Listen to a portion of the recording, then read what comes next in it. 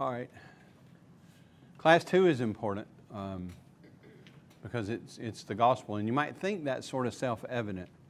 But if you spend much time in the church and you spend much time talking to Christians, you'll find out not everybody has the same idea of what is the gospel. You know, we don't live the gospel. Christ did that.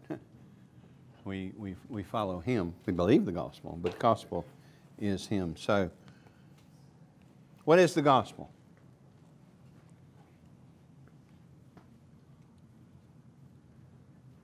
Did I intimidate you until you don't want to share? It's several things. Um, It's, it's, for one thing, it's the good news, but the gospel um, of Jesus Christ is uh, what we need to hear, Hmm. what we need to follow, Yeah. Yeah. a lot more than that. Yeah, absolutely. The gospel does mean, if you look at the word in Greek, it does mean good news, but good news about what? Or maybe I should say good news about who? About Jesus. Yeah. So if you wanted to take the, if you want to take the gospel down to one word, it's Jesus. That, that, is, that is the gospel. So it's the good news about Christ. Michael Horton says this From Genesis to Revelation, the gospel is God's promise of a son who would crush the serpent's head, forgive the sins of his people, raise them from the dead, and give them over, give them everlasting life solely on the basis of his grace for the sake of Christ. From Genesis to Revelation, God's promise of his son who would crush the serpent's head, forgive his people's sin, save his people, deliver us from sin and the condemnation our sin deserves, from death into life.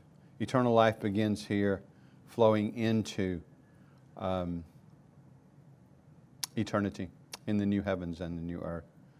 If you're not familiar with it, the first gospel is Genesis 3:15, where the seed is promised that will crush the serpent's head. And they immediately started looking for him, you know. And then everything between there and the incarnation, the Christ, his birth in the manger, was typifying him and picturing him and prophesying him so that we would recognize him when he came. It is a whole Bible revelation of the gospel in the Old Testament in types and shadows and prophecies and symbols, in the New Testament in reality in Christ. So Romans 6:23 is a really good little, just little encapsulation of what we should know.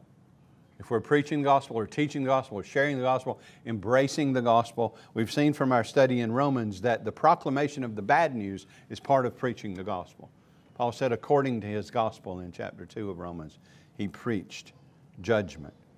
So Romans 6 23, 23 the wages of sin is death. The payoff for sin is death. The very thing God promised Adam and Eve in the garden, in the day that you eat of it, you shall die. Right? Did they die? Yes and no, right?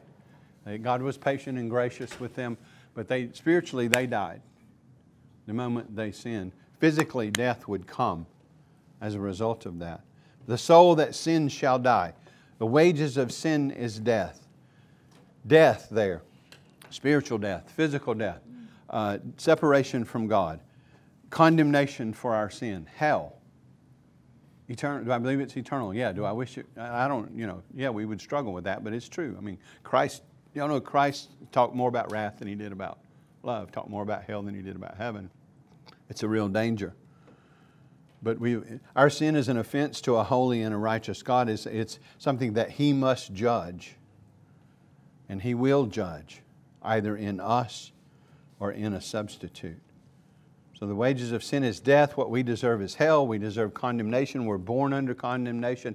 Naturally speaking of ourselves, we, we seek to live there. We won't come into the light because our deeds are evil, Jesus said in, in 319.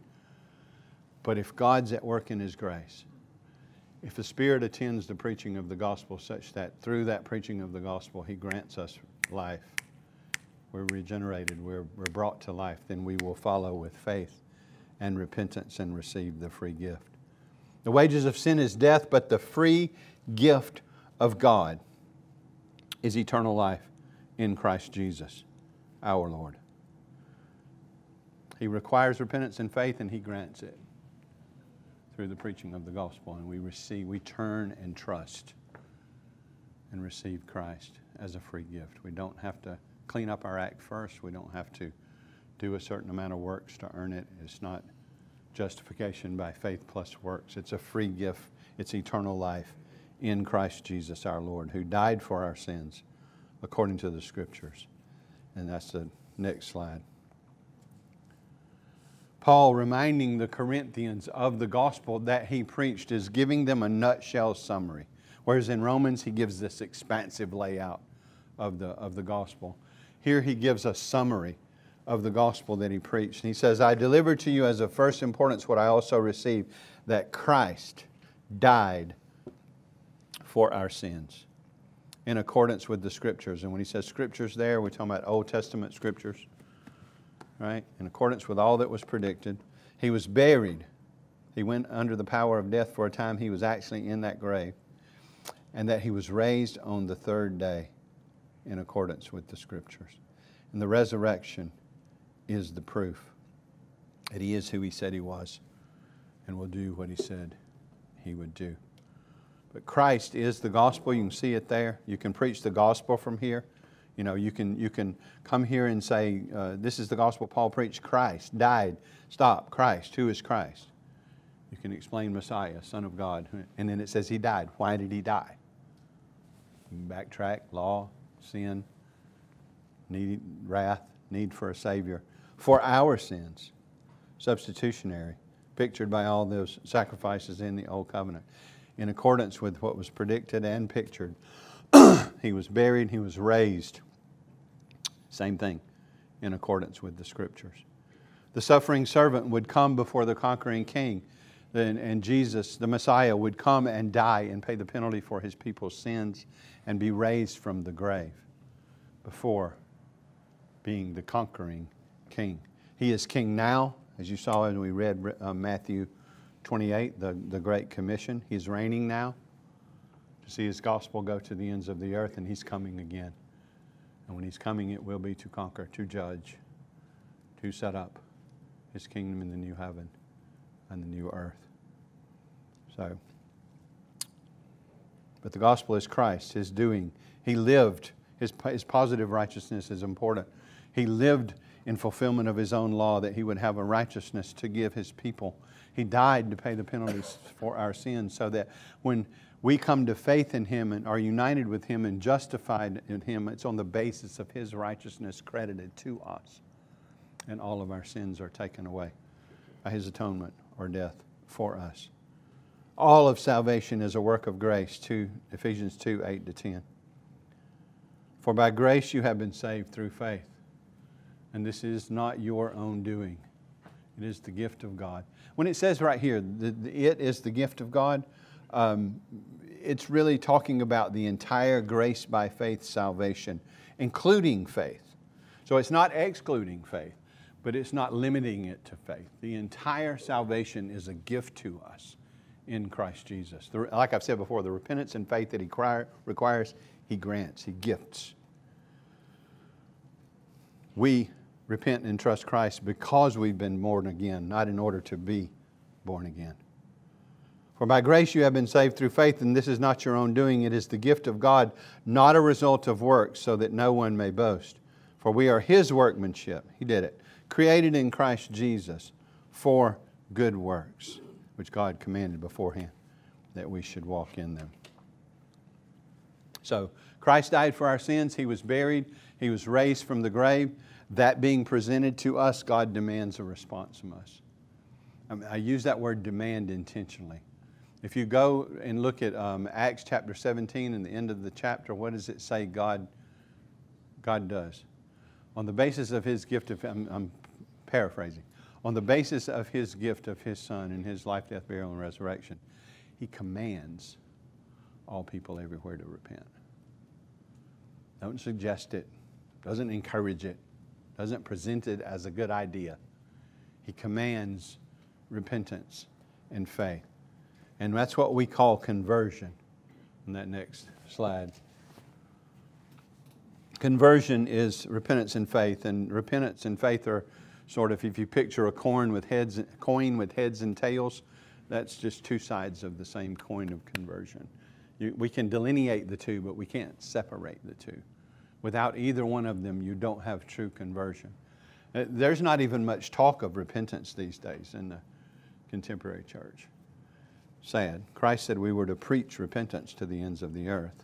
Sometimes the, the word will, will use one uh, and not use them both, but whenever repentance is used, faith is implied. Whenever faith is used, repentance is implied because conversion is repentance and faith. Repentance, repentance is a change of heart that results in a change of action. A change in the direction of the soul, a change in the life, the whole entire life. Moving from unbelief to belief, from rebellion to submission, from love of sin to hatred of sin. So God renews us in the entirety of our being in repentance so that we turn from sin to Christ, receive Christ, but doesn't end there. The, the, Christian life is a life of daily repentance, of growth and grace, of turning more and more from sin to obedience, loving obedience to Christ, and trusting. I mean, there's catechism, there's a lot of things we could use. But um, John called those he was preaching to, this, I'm talking about John the Baptist, said to bear fruits in keeping with repentance. And the changes of the deeds were the fruit that flows from true repentance, from the change of heart that is produced by God when we're, when we're born again. We get a, a new heart, uh, the one that's re- responsive to God, one that's not a heart of stone that's irresponsive to God, but a, a new heart. We get His Spirit, His law refreshed on that heart, and so that we begin to rejoice in it and live in it and grieve over our sin and confess it and grow more and more like Christ. You know, sometimes repentance is preached or taught as though it is just a change of mind. it is that, but it's more than that. Because if you really have a true change of mind, change of heart, right, then it's going to show up in the life and it'll show up in joyful obedience to God. So sometimes repentance is, is, is talked about in the, the heart change but other times it's, it's talked about in the life change, and it's really encompassing those two. a new heart results in a new life. We've been raised with Christ to newness of life. What is that newness of life? It's joyful obedience to Him and growing in it. It's hatred of sin and confessing and seeking to be free from it. We'll be glorified. We'll be, we'll be, we'll be done repenting when we're glorified. There won't be anything else to repent of when, when we're glorified. When we, when we die and go to be with Christ, our spirits will be purified. There'll be no more sin. If He comes back before we die, we'll be resurrected body, glorified, made like Him, no more sins of thought, word, and deed. But until then, it's a life of repentance. But conversion is that initial repentance and faith that uh, involves turning to and receiving Jesus. Um, faith. Faith is more than, uh, than intellectual assent. I don't know how many of you are familiar with this, but the reformers talked about saving faith in three ways. There's three elements to a true and saving faith. First one is knowledge of the facts of the gospel. You, you got to know the gospel. I mean, you, you know, nobody's going to be saved without that gospel. So it's knowledge of the facts of the gospel. Second element of saving faith is assent or belief that those facts are true. Are we saved yet?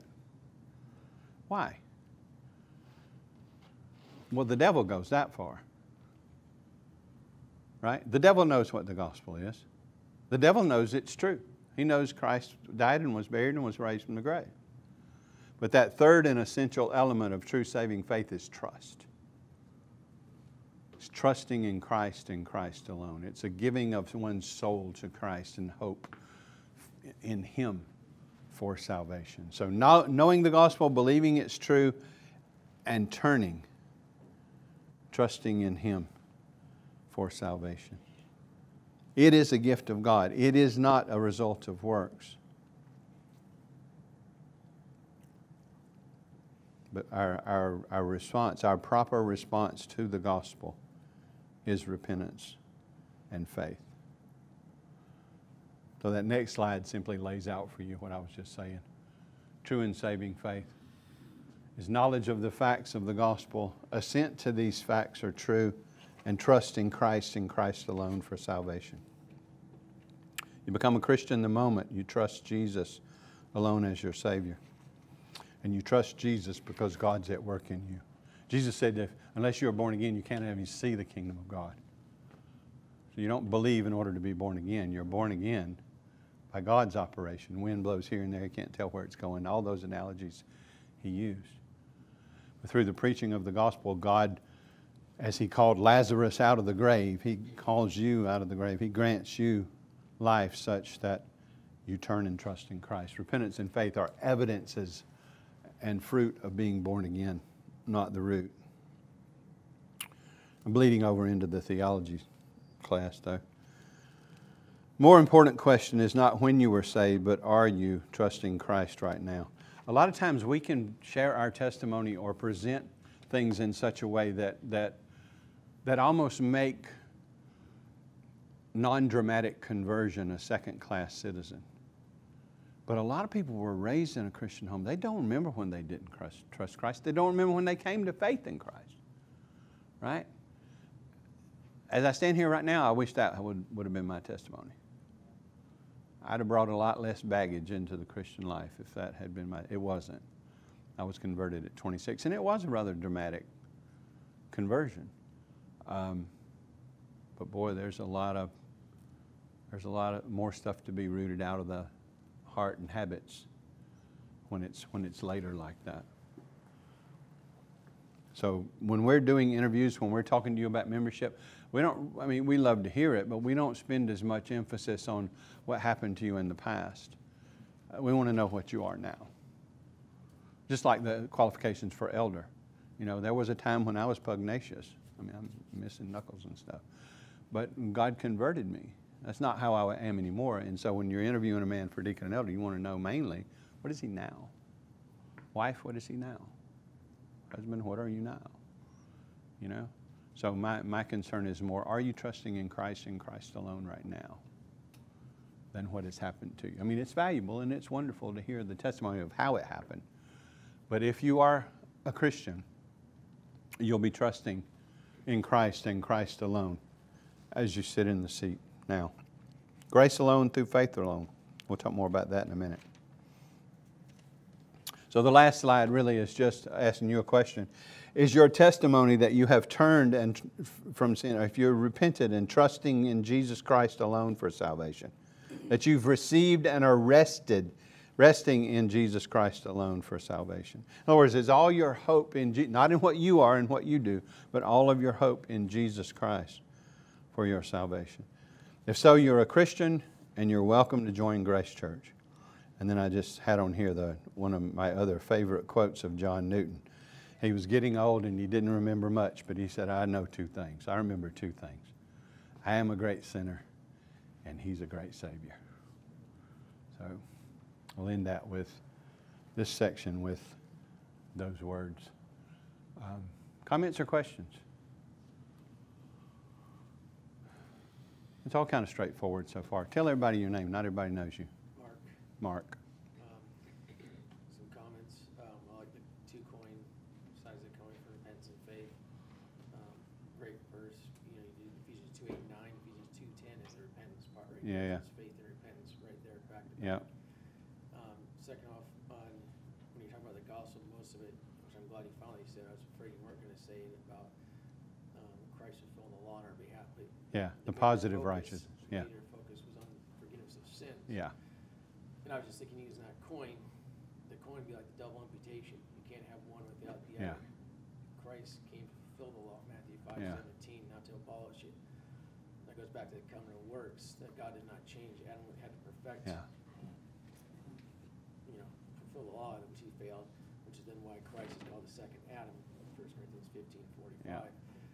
And therefore, you don't have the gospel unless you know that God expects perfection Yep. to be in heaven. So you have to Yep. have Christ fulfillment of the law on your behalf. Yep. One side of the coin, plus his forgiveness of sins on the other, which is the double imputation, the definition of justification. what, what theologians, uh, theologians often call the active and passive obedience of Christ. So that, I mean, that slide could be sharpened in that nature to emphasize the fact that you need both. The passive, and it, you know, I've never been a big fan, fan of passive, uh, you know, he wasn't totally passive, but I, I get why you use that for his death on the cross, his active obedience for his life of fulfilling all righteousness or, or obeying the, the scripture. So, Yes, we need both. We need, uh, we need His righteousness credited to us. That, that's the basis on which God declares us righteous. It's nothing of us, it's Christ's righteousness credited or, or credited to us. So I appreciate that. Appreciate you bringing that out more fully. All right, let's take a break. Get, get a water, get a drink, go to the bathroom um, if you need to. Uh, and we'll talk a little, give it some highlights of the theology of the church.